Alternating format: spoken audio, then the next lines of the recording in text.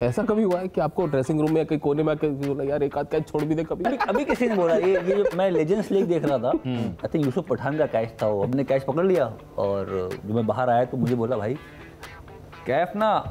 अपना बच्चा छोड़ सकता है बॉल नहीं छोड़ेगा Well, is, is, it, is it true, sir?